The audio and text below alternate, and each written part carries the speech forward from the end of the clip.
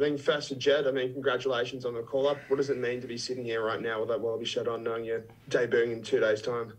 Yeah, it's um, it's pretty surreal to be honest. Um, something that I thought, you know, would never really come probably a couple of years ago or even last year, and um, yeah, to get this opportunity is huge. A little setback, but you know, it wouldn't be part of my journey if I didn't have a setback in it. So um, yeah, mate, I'm super super excited to to run out on Saturday.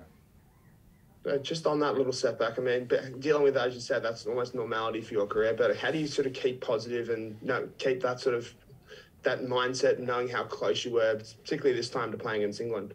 Yeah, it's it's interesting because in you know earlier on in my career, you know, it would probably set me off the rails a bit. But um, you know, I've got a, a good, good got a good support network around me with my family and my wife and little girl now. So uh, you know, there's bigger things than just rugby. So, you know, things to take me away from that and um, remain positive and, um, you know, knowing that, you know, we've got the best physio staff here and, and working towards uh, that goal, which is getting that cap on Saturday.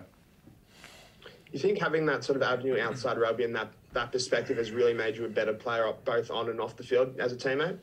Yeah, I think yeah, better player, better person, um, give me a huge amount of perspective, um, and you know, just showing me what's important, and um, you know, it just allows me to really enjoy my footy uh, because it, it doesn't go forever. It, it isn't a, a long-term thing.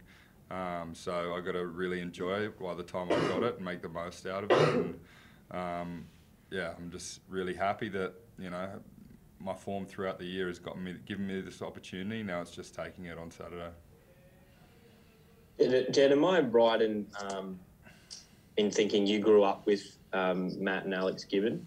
Yeah, yeah. Uh, so, yeah, I, I, grew up really close family friends with the with the Gibbons. Me and me and Alex played all our country rugby together. Played each other, played against each other since we were 10, 11 years old, and um, you know Matt was a couple of years behind him, but I've known Matt for the same amount of time, and um, I'm so excited to to share this opportunity with him, and um, you know it's it's as much as I am stoked for my opportunity, I, I'm so proud of that guy and everything he's overcome, and you know the the stuff they've gone through throughout their life, uh, you know, the resilience he's shown, um, I'm, I'm so proud of him.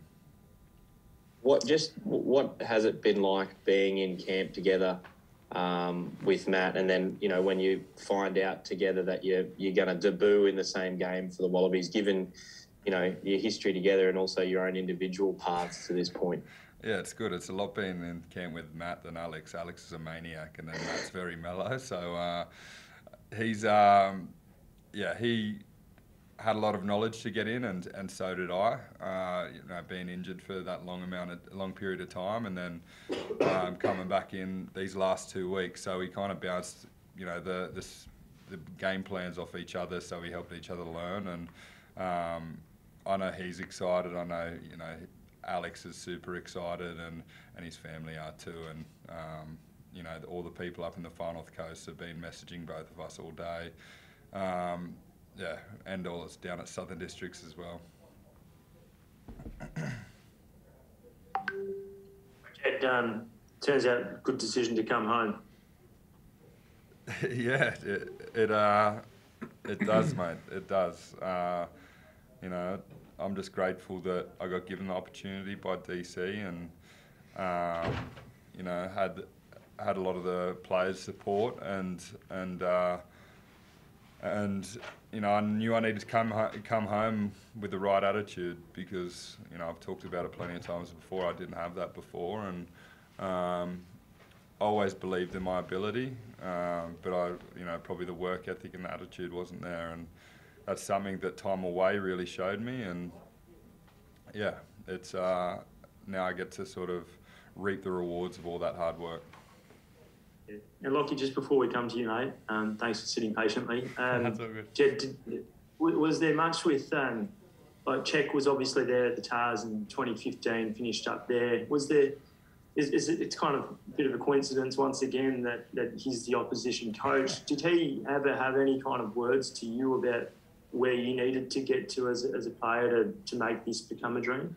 Um, you know, with Cheika was always hard work and, and having that mental edge. Um, and, you know, he, he brought me into camps and, and he, he developed me a lot uh, throughout my early stages of career. You know, I got signed at the Tahs in 2013 by Cheika, and then you know he kept me around, and um, only got a couple of games under him, but I know what his coaching style is, and at the time it was probably. I probably hated it, but now looking back on it, I'm, I'm super grateful for the lessons that he taught me, and and um, yeah, you know the pressure that he put on me at the time made me much more resilient person this time around. And were there tears when when you got named? um, there was no tears. No, I think uh, Jakey Gordon was would have uh, ripped shreds off me if there was any tears. But later on in the room, when I called my family and stuff like that, I was I was uh, they were definitely coming on, and I think it. It's been a hectic week, and I've, I've been trying to manage it as best as I can. But I think once I walk out there, it'll all sort of hit home, and I'm looking forward to that moment. And um, could you uh, kind of give some insight into what Darren Coleman's done with you since your return, and, and if you sense that you know he might might not have been so welcoming considering histories and but he was taking maybe a bit of a chance. Do you kind of feel that way? Oh, yeah, well, when you know I originally agreed to sign with the Tahs, and then he got named head coach, and you know he's spoken about it something that he needed to readdress. You know, me and him needed to sit down and have a hard conversation, and I basically, you know, talked about my growth as a person, and um, he talked about his growth as a coach, and you know, I showed him the work that I've been doing, and um, and mate, to be honest, he has just the the game plan that we have, and and the way that he coaches is very much you know getting the best out of the individual, but also you know, allowing the individual to be himself and, be comfortable in that. And um, I think not just only me, you've seen a lot of the, the Tahs players who probably didn't have a great year last year really flourish in his system because he allows guys to be themselves, uh, express themselves, and, and gives them full confidence. Anything for Lockie here, guys? And, and, sorry. oh, sorry, just one more on your position. Which position you kind of prefer and how um, how you, you're kind of set up to play within this uh, structure? Um, mate, I, am honestly happy with with anything. As as you know, I've played uh, lock all this year, but you know, the whole start of my career, I was a number eight um, and playing a bit of six as well. Um, the good thing about that is, you know, I offer a lot of versatility and I can cover a lot of positions. So, uh, so it's it's it's a good thing for me that I can uh, do all that, and I'm also a lot lighter than I was, you know, back in back in you know 2016, 2017, where I was playing number eight and a lot leaner. So it probably kind of suits me in this system, and um, yeah, it gives us a you know a good plan moving into moving forward in these in this series. Thank you. Lockie, when did you um when did you find out you're playing, mate? Uh, Oh well, during the session on Tuesday, um, Dave just went down. He didn't look too good, so at that point I had a little feeling. I wasn't too sure though. Um, but then the day after, uh, Ren's come up to me and said that um, Dave's no good, so I'll, I'll slot in for the weekend. When you think about your game from where it was last year when you uh, made your test debut to, to now, um, how much do you think it's improved in that, in that space of time? Uh, yeah, well, I'd, li- I'd like to think it's improved, but um, I think I think just getting more footy under under my belt from Super Rugby this year um, will really benefit me going into this weekend and hopefully into more Wallaby games. Um, last year, I obviously didn't have that much experience, and um, in my opinion, I think uh, it was it let me down a little bit. But um, yeah, hopefully this year uh, it'll be better. Bunch of um, Brumbies guys off off the bench as well, and, and you guys are probably going to have a big role to kind of counter someone like a, a Gus Creevy who's really hard on the ball. Is is the breakdown presence something that that's really been spoken about uh, and winning that battle? Uh, yeah, hundred percent. It's been a big focus this week. Um, uh, they yeah they, they love getting in breakdowns, getting on the ball. Uh, they got Montoya as well. Um, yeah, so there will be a big focus. I think um, the breakdown will go a long way to uh, w- winning the game.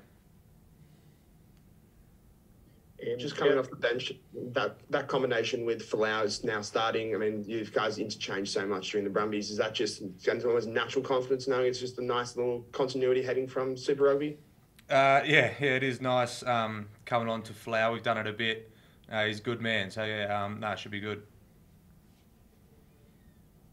Hi, Jed. Um, how do you see the the battle with the Argentinian pack, and what do you think about Pablo Matera?